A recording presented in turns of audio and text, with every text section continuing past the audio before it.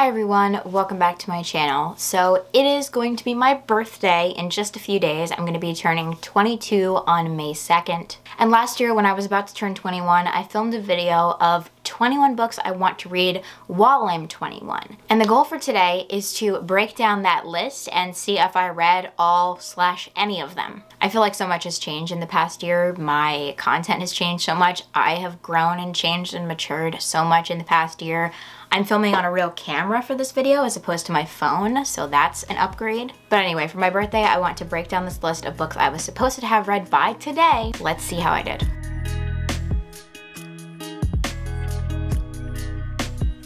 Alright, so starting off, the first book in the video was A Little Life by Hanya Yanagihara. Starting off strong, I did read this in September 2021. Did not cry. It was certainly a time though. It was a little bit traumatic, to be honest.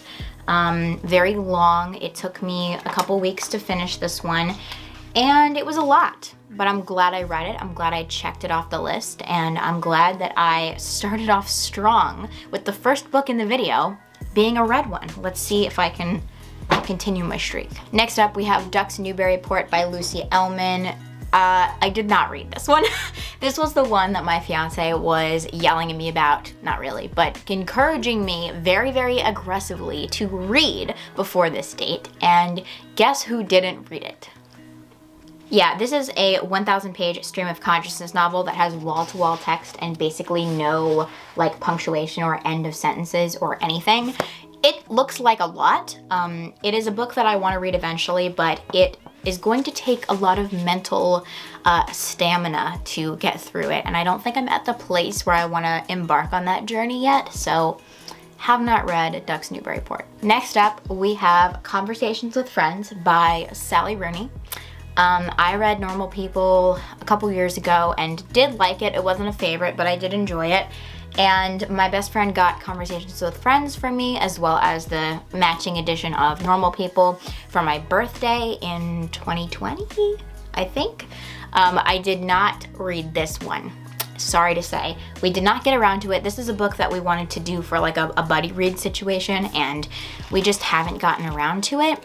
Um, as time goes on, I get less and less intrigued by it, to be honest. I think it's a little further away from what I currently like to read, so not sure how I'm going to feel about this one, but it is something that I do want to read eventually, but did not read in 2021 slash 2022. Unfortunate. So that's one book I read and two books that I did not read. Oh boy. Next we have two books from the Vintage Classics collection that I said I wanted to read. The first one is Herland by Charlotte Perkins Gilman. I didn't read this one. Oopsie. Yeah, no, I didn't read this. I got the audiobook out from Libby, I think maybe twice in 2021 slash 2022. Did not end up listening to it.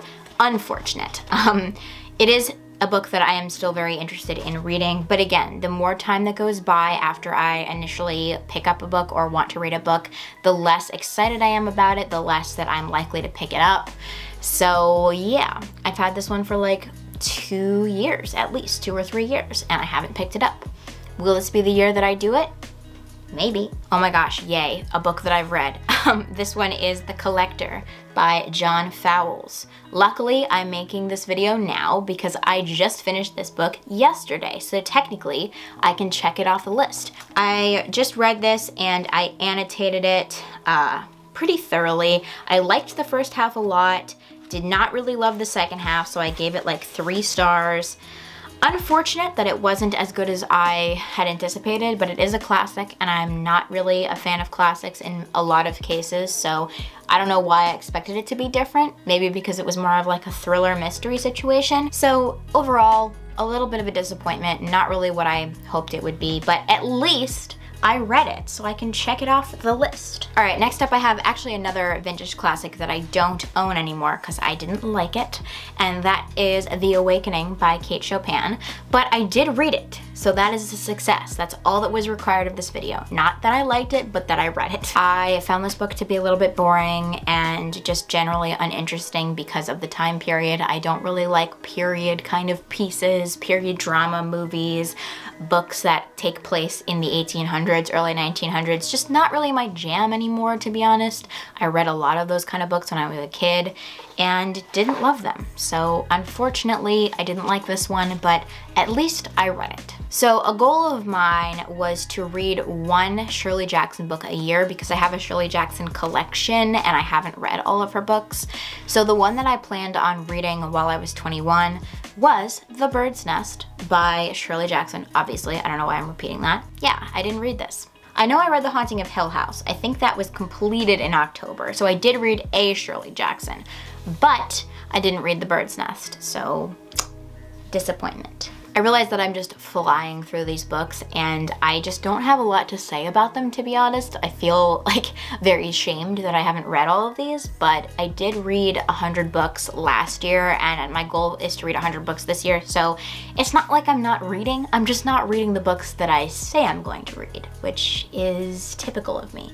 Alright, in the video, I said that I wanted to do one reread at least in 2021 slash 2022, and that was The Bell Jar by Sylvia Plath.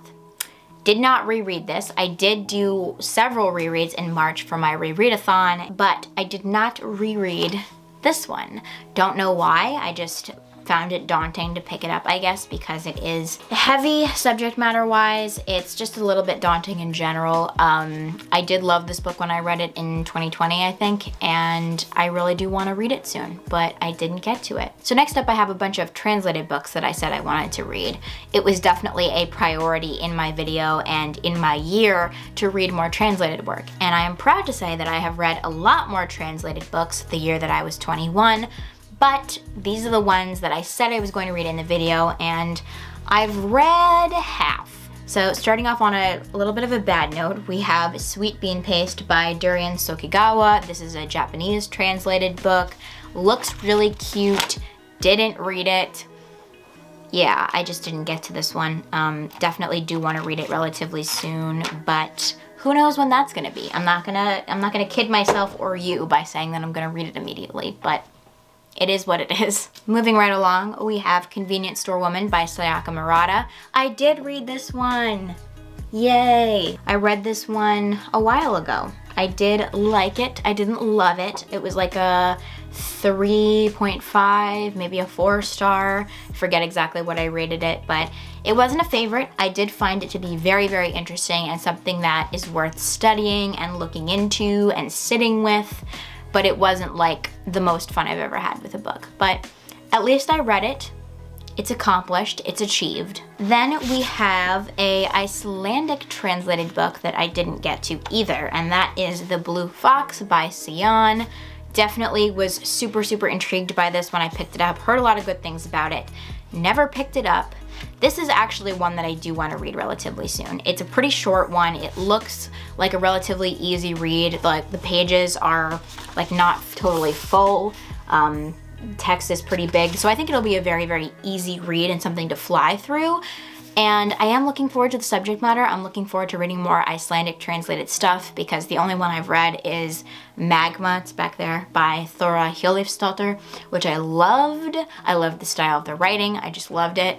So looking forward to reading more Icelandic stuff. Um, just didn't get to this one in the past year. And the last unread translated book is The Hole by Hye-young Pyun. This is a thriller slash horror book that was translated from the Korean. And yeah, didn't read it.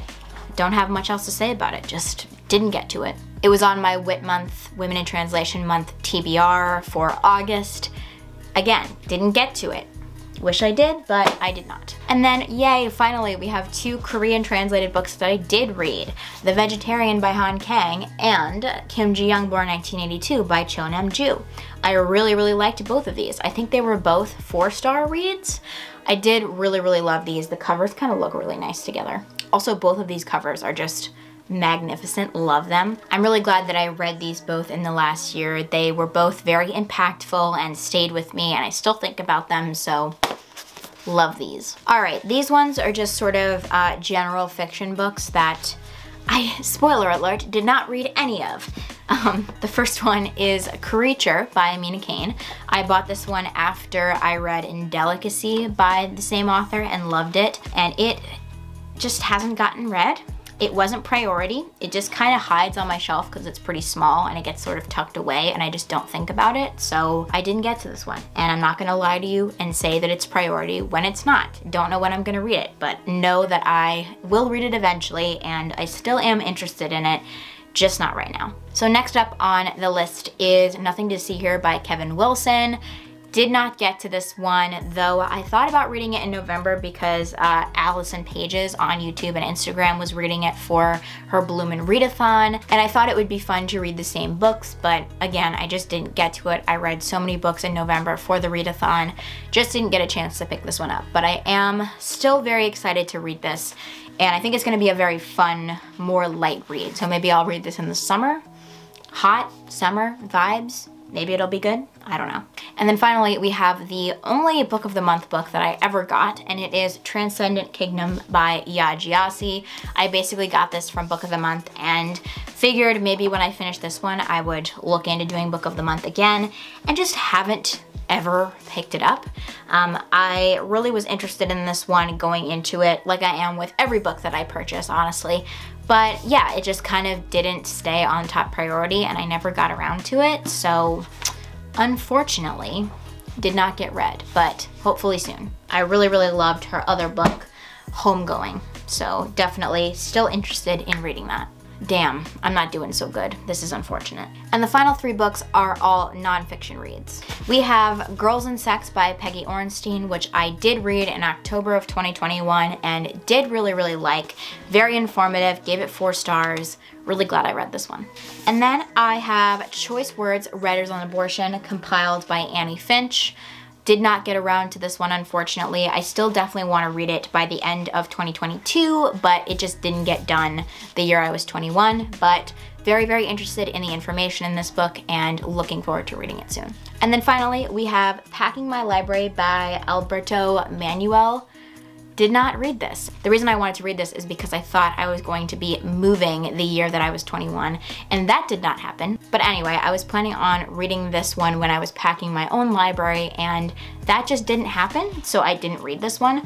But hopefully when I actually am packing up my library, I will get to read this one. So yeah. So amidst the chaotic energy of this video, I forgot to mention the last book that I was supposed to talk about, which was The Only Good Indians by Stephen Graham Jones, which is a horror book that I did not read because my friend read it and said that it was way too gory for me.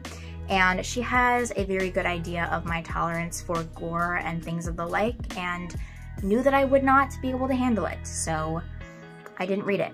I just donated it.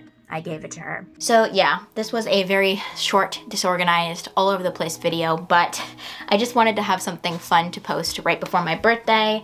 Yeah, I didn't do too good. Um, I would say that I read less than half of the 21 books that I wanted to read in the past year, but that's okay, because like I said, I read lots of books, I had lots of fun, and what's a TBR? What's the point of a TBR? Why do we even have them? They never hold up. they never work. But anyway, my camera's about to die, so thank you for watching this very, very chaotic video. I hope you enjoyed it. Let me know what you think I should read in the next year. If you have any recommendations, I'd love to hear them. If you enjoyed this video, feel free to like and subscribe, and I will see you in the next one. Bye.